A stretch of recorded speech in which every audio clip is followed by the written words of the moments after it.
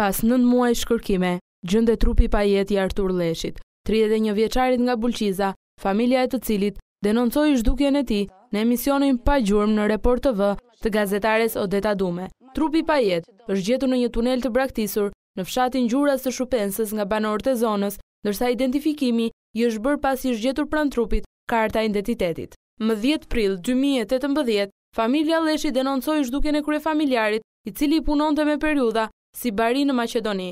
Mister mbeten ende rrethanat e vdekjes së Artur Lleshit, ndërsa Policia dhe Prokuroria pritet të marrin në pyetje familjarët dhe bashkëfshatarët e tij, të cilët, në vigjilje të Vitit të Ri, marrin lajmin e hidhur për vdekjen e familjarit. Rasti i Artur Lleshit u trajtua edhe në studion e emisionit Pa Gjurmë në Report TV, që në serinë e parë të këtij emisioni. Bashkëshortja dhe djali i tij i mitur apeluan për gjetjen e tij, teksa u shprehën se Artur Lleshi kishte vetëm një konflikt me pronarin e tij të mëparshëm në Maqedoni.